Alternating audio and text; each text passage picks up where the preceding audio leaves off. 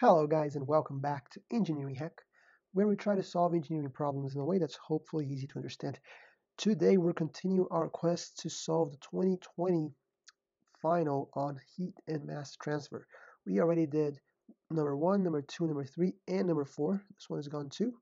And now we move on to question number five. This is where there's actually 12 marks available for this question. It's a harder question indeed and it's a long question too. So what I might do is I might actually break, break this video into two, uh, and I might want to show you guys two different ways of doing it, of solving this question. Problem statement reads, air at 25 degrees Celsius flows inside a 20 centimeter inside diameter tube, which has a wall thickness of 10 mils. The surrounding environment temperature is 10 degrees Celsius. The convective heat transfer coefficient inside the tube is 15 and that uh, outside is 5. The thermal conductivity of the tube is 1.5 and the external emissivity is 0.95. Assuming negligible internal radiation, determine the heat transfer rate through the tube per length and the outside surface temperature of the tube. So we have to find out two different things, right? One is our Q, more precisely our Q per L, right, per unit length. That's the first part of the question. And the second one is what is the outside temperature? So right outside T oh, over outside, right outside of the tube. Now, one thing interesting here is that the I guess what makes this question hard is that we are given the external emissivity of the tube as 0.95, so 95%, and we're told to ignore the internal radiation. So it's a problem that asks us to include radiation in the heat that heat transfer that's occurring through, we know, convection and conduction, right? Because there's a fluid inside, fluid outside, and the tube that is a solid. So that means that we're actually accounting for all three heat transfer modes in this question. Uh, we're ignoring radiation internally, however, we need to consider outside, right, externally. So let me, I already drew, you know, the two views for this tube. Let's go down here. So this is from our previous questions on the previous videos. Question three, and there you go, question five. Okay, so already drew, you know, we have 20 centimeters in diameter. So that means that the radius of this guy is 10 centimeters. That's what I put over here, so 10 centimeters. And then there's a thickness, this guy has a thickness over here of one millimeter, right? So that means that a, a vector that leaves the inside and goes all the way to the outer surface of this tube would have the length of 11 centimeters. That would that is a one mil thickness plus the 10 centimeters in radius internally. That's where this 11 comes from. Okay, so we have 10 centimeters as R1 and 11 centimeters as R2. What else? The inside is air at 25, the outside is air at 10. So we know that Q is going to be flowing from the inside to the outside before we do any math whatsoever. We can be sure of that. We can also be sure that at this point here on the outer surface of the tube, that is on this part here of the tube, we're going to have not only conduction taking place, but also radiation, right? So that's why I put here QR for radiation plus Q of the sum of R's to, you know, uh, describe all the other energy. Now, if we were to draw a simplified diagram for this, we would have, you know, the inside here on this side, the left-hand side, then we would have an internal resistance due to convection, and that is the one for the internal air there. Then a conductive resistance for the actual tube, the metallic or whatever material the tube is, a external convective resistance due to the fluid outside, right? However, we also have the radiation factor. So in reality, what we would have is we have a competing system because heat at this point here can choose whether it wants to flow out due to radiation or due to convection, right? But we have no information about that radiation as of yet. So there are different ways you can go about solving this problem. I'm going to show you the first way. It's uh, long. There, there are similar ways. It's just the assumption you do in the beginning changes, and then you know the the the um, actual numbers you get they change along the way, but the actual solving is exactly the same.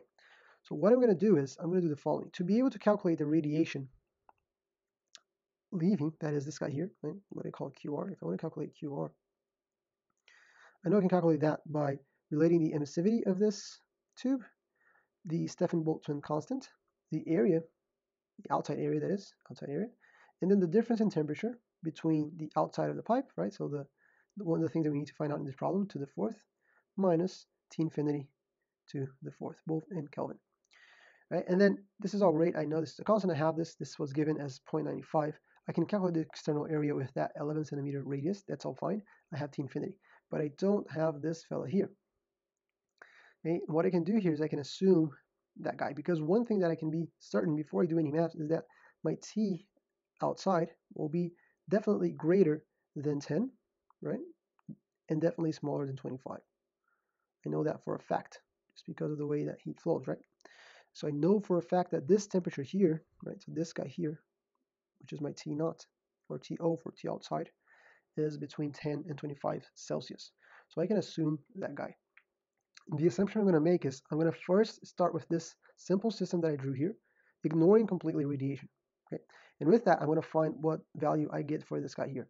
Once I get this guy, then I'm going to calculate radiation and take into account. And then I'll see how that changes, and I'll have to do you know, several times, iterating several times until we get a convergence, or I hope to get a convergence. So that's a game plan, right? So let's see how what that would look like. Let me go ahead and start by calculating the resistances. So I'm going to calculate this guy here, which I'm going to go ahead and call R1. So it's going to be my R1. It's going to be my R2. This will be my R3. Okay, those guys. We've done that several times already. That's no mystery. The ones due to convection will be 1, uh, 1 over convective coefficient in the area this case the internal area, right? So that that was given the internal convective coefficient was given as 5, well, 15, 15, and then the internal area is you know this area here, right? And that is related to R1, the one with 10 centimeters. So that will be 2 pi r circumference times 10 to the 10 to the minus 2 to have it in meters, and then multiply by the L, the length. I don't know the length. I don't know this length here no idea what this length is. However, I do know that we um, are to calculate Q per unit length, right? It says quite clearly in the um, problem statement. So I'm going to go ahead and say my length is one meter, and I'm going to take care to, you know, highlight this for myself, you know, put a, big star here so that I remember this as I calculate my final answer because whatever I get is going to be per unit length, right? So where I have L, I'm only going to substitute by one. As long as I remember that I did that, I'll be fine to account for it in the final answer. So here I got 0.1061. That's going to be Kelvin per watts. And then obviously we have we would have still have the meter there because we haven't multiplied by the meter, so it will be in reality Kelvin meters per watts, right? Um, then R2, that's a conduct, uh, sorry, yeah, conductive resistance, and that's going to be the natural log of R, the out, external radius and the over the internal radius, the ratio between the two, natural log of that, divided by my 2 pi K, L. Right? In this case, K was given as 1.5, so 1.5 for K, conductivity of the pipe, and then L we're assuming to be 1. And this gave me 0, 0.0, 0.01011. Same deal with the units, right? It would be Kelvin per watts, but because it putting one meter, it would have the meter there, right? Um, I am using, like I said, I'm using I'm using the assumption of one meter, so I'm assuming there is a one meter multiplying there, so I don't have to carry this uh, m with me as I go, but it's good to remember that everything calculated is going to be per meter. Next one, R3. R3 is also conductive, so also 1 over convective coefficient, but now the outer area, right, external area.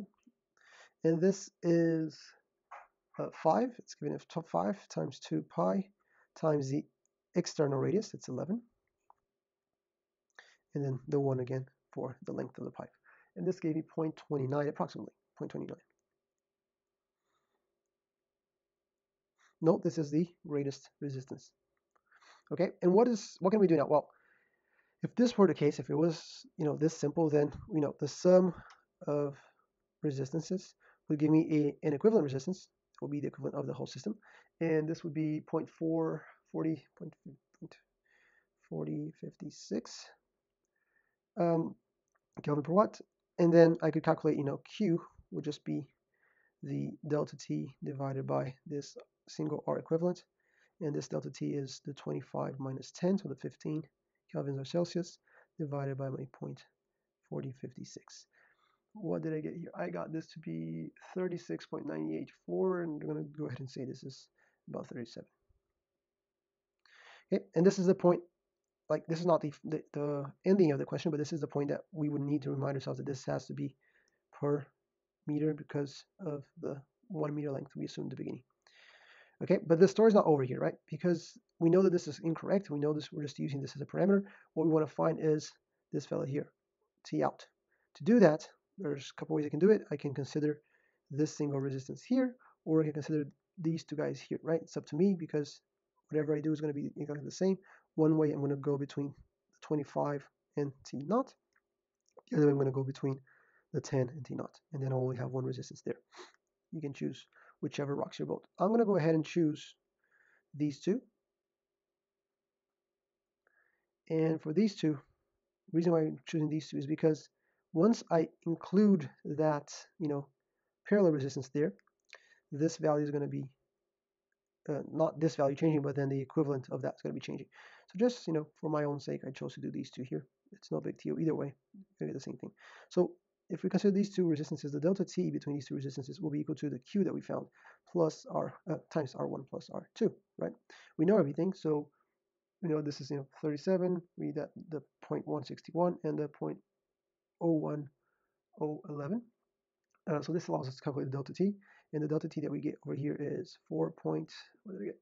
4.29, 4.29, 7, 8, 9, and so on and so forth. So I'm just going to approximate this to 4.3 degrees Celsius.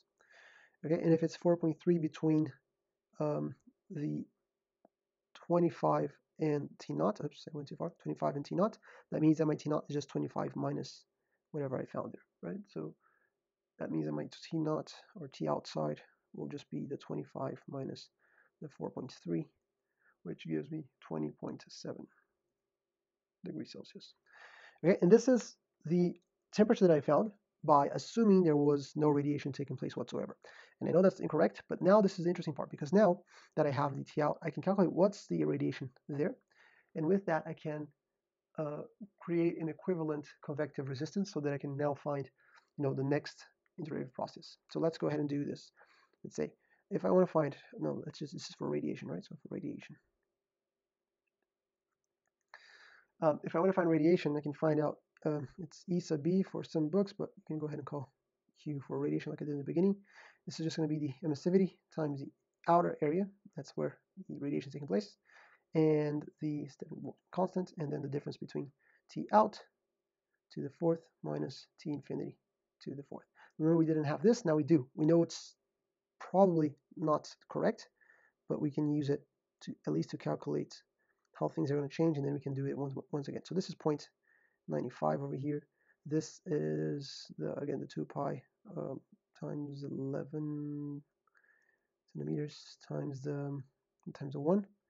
Then this is 5 point, what was 5.67? Yeah, times 10 to the 8 minus 8.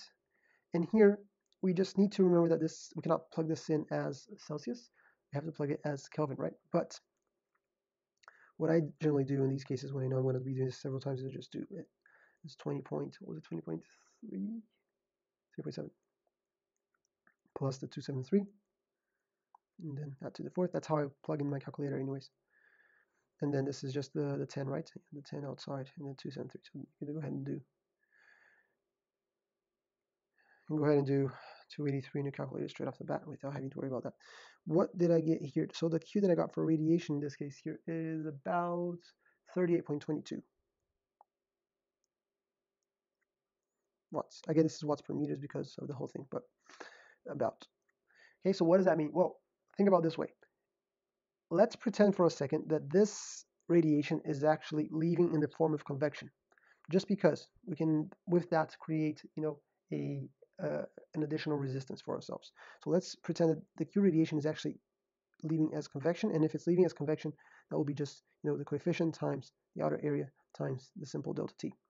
And the reason why I do that is because then I can calculate, you know, what would be the equivalent, equivalence, sub-equivalent here, equivalent co convective coefficient to account for this radiation. Well, that would be the 38.22 divided by the outer area divided by the delta t, right? So the outer, outer area is this guy here.